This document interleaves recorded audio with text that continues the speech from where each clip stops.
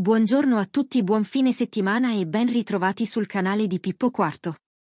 Di tanto in tanto mi capita di dare un'occhiata su questa emittente, e mi sono imbattuto nel video di una donna che ho sempre stimato, e detto tra noi è anche una bellissima fanciulla. La vidi per la prima volta su Media Shopping, ne rimasi folgorato al punto che acquistai il fitness pump che lei pubblicizzava. Indossava sempre tute aderenti, e non vi dico lo spettacolo. Fossi in lei comunque mi trasferirei in quel di Monza Brianza perché QVC ha un seguito decisamente maggiore, e poi darebbe a me anche la possibilità di registrarla. Jill Cooper è nata nel Kansas il 21 agosto del 1968.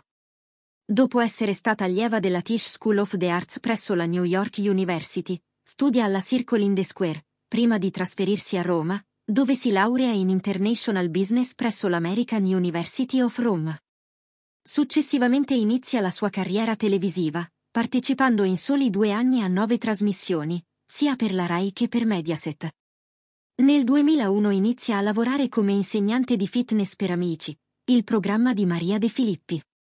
Sempre con il ruolo di personal trainer, tiene diverse rubriche e conduce diversi spazi sulla tematica del fitness e dello sport, in trasmissioni come Uno Mattina Weekend e Detto Fatto, diventando per diversi anni il volto delle televendite per prodotti legati allo sport nelle emittenti Home Shopping Europe, Media Shopping e HS24. Trasmissione questa poi chiusa perché non dava i piccioli ai suoi dipendenti. Ha lavorato come personal trainer per personaggi come Paola Barale, Maria De Filippi, Alessia Marcuzzi, Pamela Prati, Mel Baruffo, Paola Perego e Wendy Windham.